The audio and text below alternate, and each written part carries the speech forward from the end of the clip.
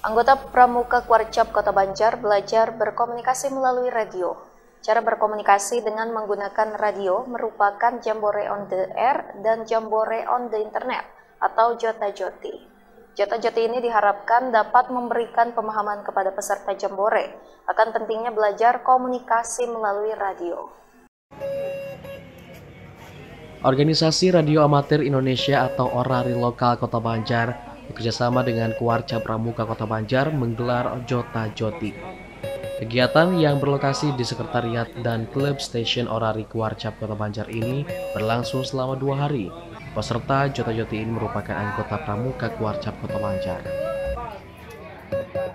Ketua Orari Lokal Kota Banjar, Yana S. Bahyan mengatakan, Jota Joti ini digelar serentak yang diikuti anggota Pramuka Lewat kegiatan ini, para peserta tidak hanya dapat berkomunikasi melalui radio dengan anggota pramuka di Indonesia, tetapi di seluruh dunia.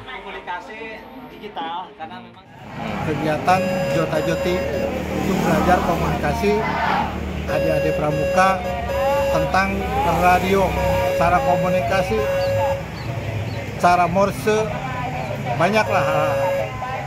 Tujuannya apa ini Pak? Intinya ya biar biar biar adik-adik pramuka itu biar mengerti tentang radio komunikasi.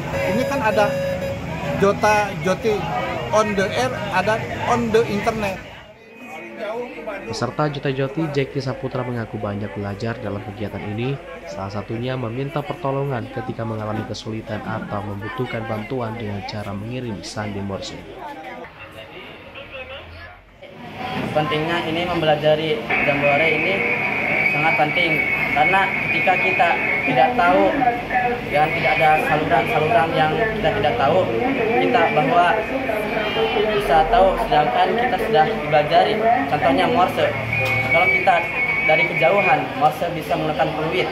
Kita dari kejauhan dan peluit tersebut berbunyi dan bertanda tanya minta pertolongan maka kita hampiri atau kita dekati orang tersebut yang mengirim simbol kepada kita. Jota Joti ini diharapkan dapat memberikan pemahaman kepada peserta Jambore akan pentingnya belajar komunikasi melalui radio. Dari Kota Banjar, Sukirman, Dedar TV melaporkan.